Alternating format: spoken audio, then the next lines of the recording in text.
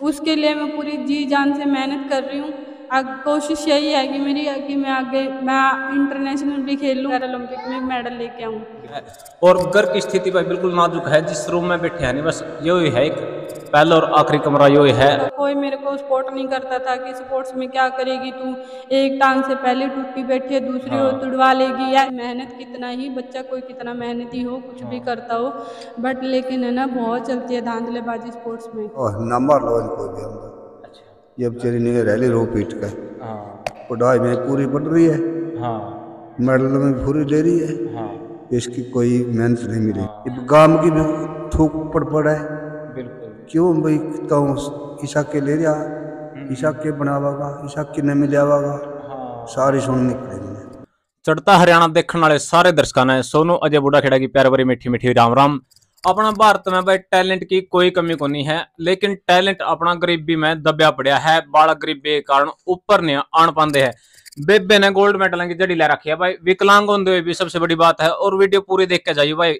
क्योंकि दो हाथ पैर सही सलामत होंगे हुए भी बालक सवेरे उठना को नहीं पसंद करते लेकिन बेबे ने सवेरे उठ उठ कर मेहनत करी है विकलांग होंगे हुए भी बेबे राम राम। राम राम भाई मेरा नाम सरला है और मैं मानस गाँव की रहने वाली हूँ और मैंने गेम की शुरुआत एमसीए के बाद ही शुरू करी थी। और एक बात और बता दें भाई ये फ़ाइल है नहीं सारे की सारी सर्टिफिकेट भरी पड़ी है बेबे ने जमाने पूरा गाँव का नाम, हरियाणा का नाम गर्व तक ऊँचा कर रखा है, लेकिन कमी जड़ा रवे है नहीं, अपनी सरकार की रवे है, बालक जमा टूट ले है। फिर भी सरकार का कोई ध्यान नहीं होंगे बच्चे की तरफ़। हाँ भाई सर बता पहला गोल्ड मेडल कहाँ जीता था आपने?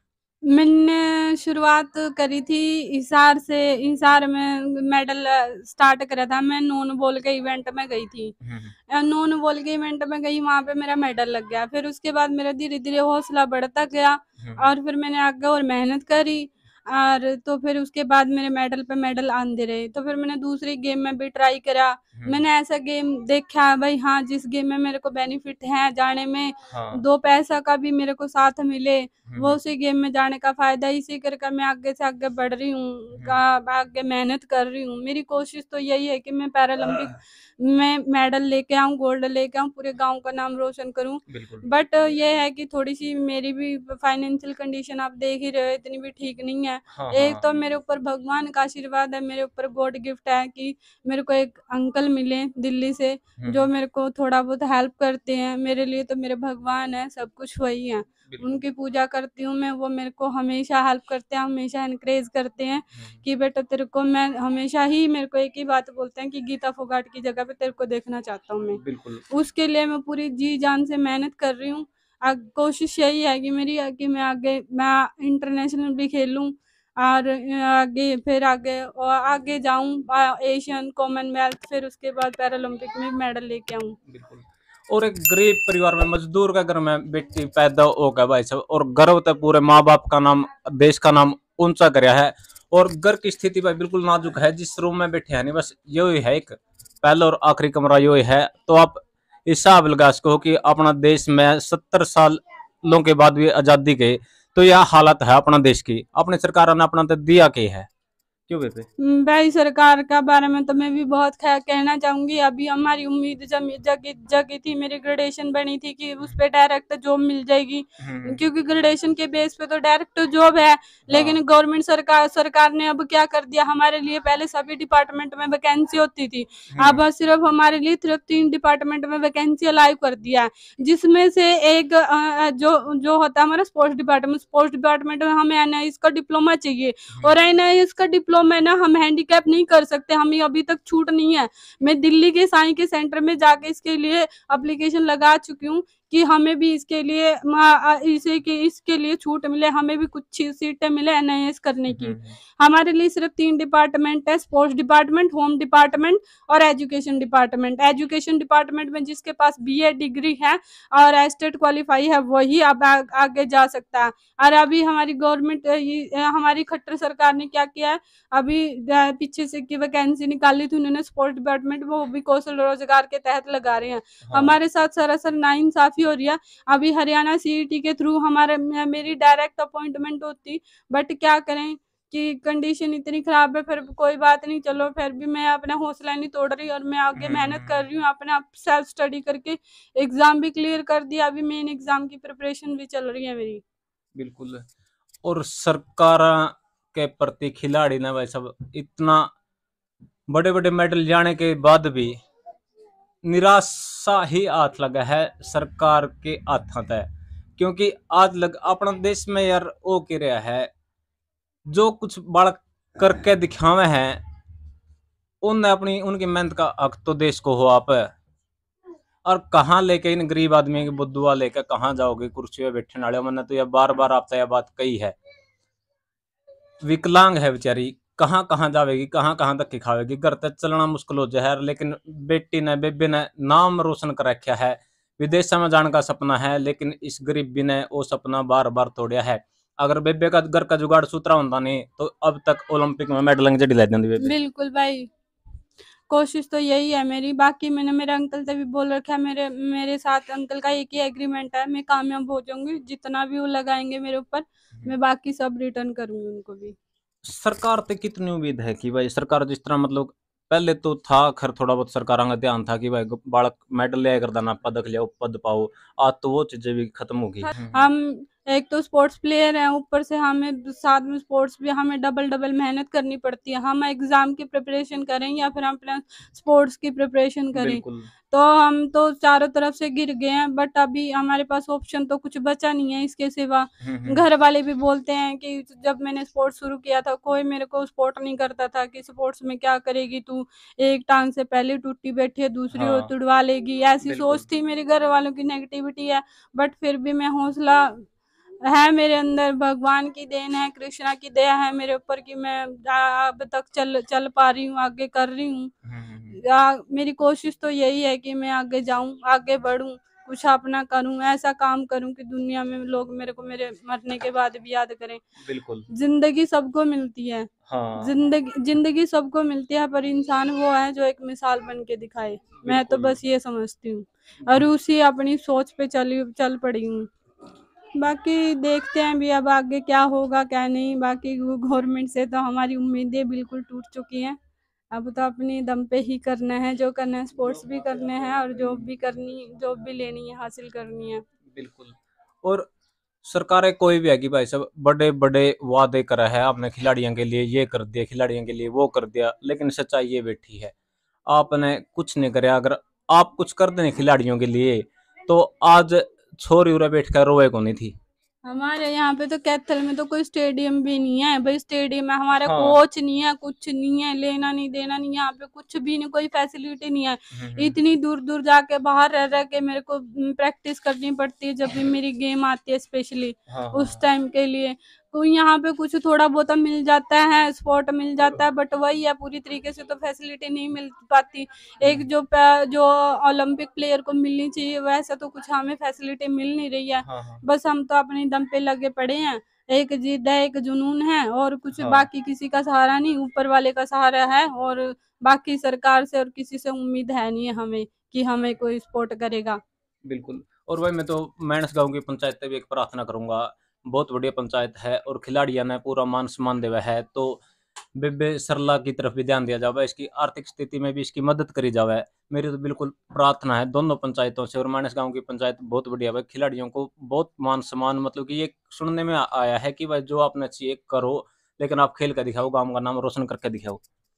मेरा तो अभी तक गाँव में किसी को पता भी नहीं है मेरा कि मैं इतने मेडल जीत चुकी हूँ मैं प्लेयर हाँ। हूँ मैं सब मतलब सब पहले तो यही समझते थे कि मैं पढ़ी बस पढ़ाई चल रही है पढ़ाई चल रही है बट स्पोर्ट्स का किसी को नहीं पता इतना ज़्यादा।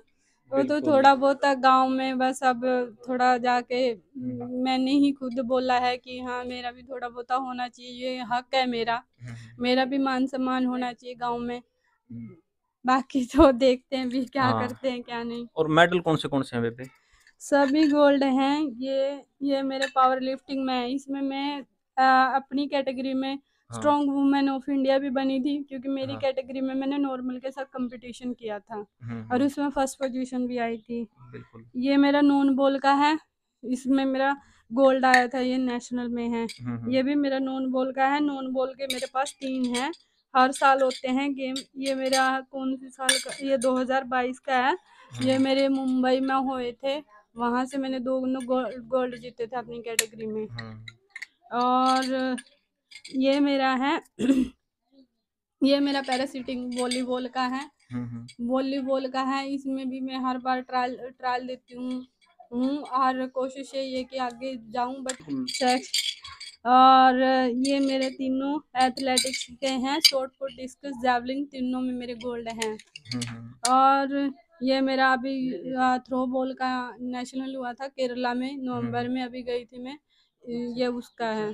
नहीं नहीं ये सॉरी तंग तंगसुडू फेडरेशन का है। हाँ। इस तंगसुडू फेडरेशन की मैं कोऑर्डिनेटर भी बन गई हूँ।